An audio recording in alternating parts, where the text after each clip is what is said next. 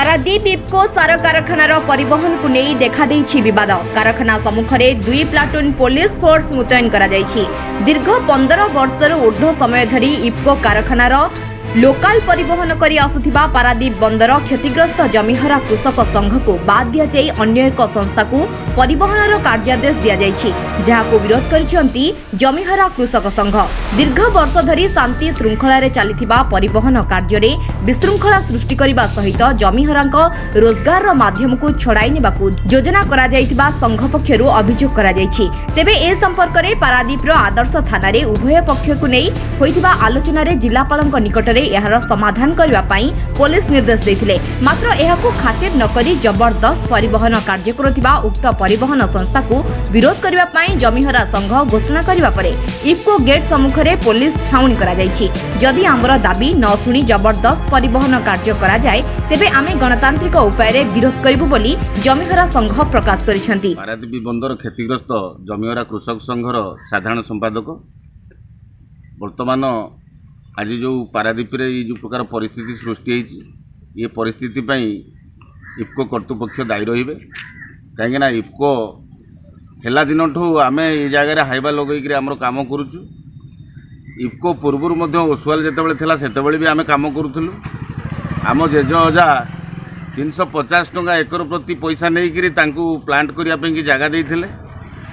ଆମର ଯେଉଁ ସଂଘ ଗଣତାନ୍ତ୍ରିକ ଉପାୟରେ ସରକାରଙ୍କ ପାଖରେ ବିଭିନ୍ନ ଫୋରମରେ ବିଭିନ୍ନ ସମୟରେ ଦାବି ଉପସ୍ଥାପନ କରିଛନ୍ତି। ଓଡ଼ିଶା ସରକାରଙ୍କର ବିଭିନ୍ନ ପଦାଧିକାରୀ ମଧ୍ୟ ତାଙ୍କୁ ଆମର ଦାବିକି ମାନେ ପୂରଣ କରିବା ପାଇଁକି ନିର୍ଦ୍ଦେଶ ଦେଇଛନ୍ତି।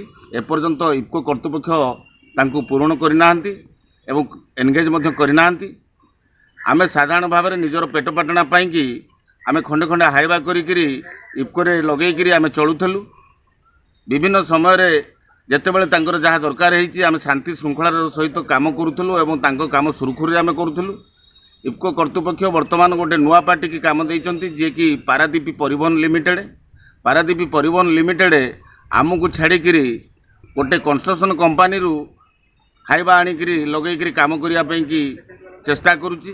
ଯାହାଦ୍ୱାରା କି ଆମ ପେଟ ପାଟଣା ଏଠି ଚାଲିଯାଉଛି ଏବଂ ଆମେ ଏଠି ସେଇ ସଂସ୍ଥାକୁ ମଧ୍ୟ ଯାଇ ନିବେଦନ କରିଥିଲୁ ଯେ ଆମ ହାଇବା ଗୁଡ଼ାକ ନେଇକି ଲଗାନ୍ତୁ। ଆମେ ଆପଣଙ୍କର ଶାନ୍ତି ଶୃଙ୍ଖଳାର ସହିତ କାମ କରୁଥିଲୁ ଇଫ୍କୋରେ କାମ କରୁଥିଲୁ। ଆପଣ ଯଦି ନୂଆ କାମ ପାଇଛନ୍ତି ଆମେ ବି ଆପଣଙ୍କ ଦ୍ୱାରା କାମ କରିବୁ। ଆପଣ ଦେଖନ୍ତୁ ଆମେ ବିଭିନ୍ନ ଜାଗାରେ କଣ୍ଟ୍ରାକ୍ଟର ବଦଳି ଯାଉଛି ଡିଏଲ୍ଆର୍ ତାର କାମ କରୁଛି। ସେମିତି ଏ ଜାଗାରେ ବହୁତ କଣ୍ଟ୍ରାକ୍ଟର ବଦଳିଛନ୍ତି କିନ୍ତୁ ଆମ ହାଇବା କାମ କରୁଥିଲା। ବର୍ତ୍ତମାନ ଯେଉଁ ନୂଆ କଣ୍ଟ୍ରାକ୍ଟର ଆସିଛନ୍ତି ତାଙ୍କର କ'ଣ ଅସୁବିଧା ହେଉଛି ଆମେ ମଧ୍ୟ ଜାଣିନୁ ଯେଉଁଟାକି ଆମ ହାଇବାକୁ ନ ଲଗେଇକିରି ସିଏ ତାଙ୍କର କରୁଛନ୍ତି।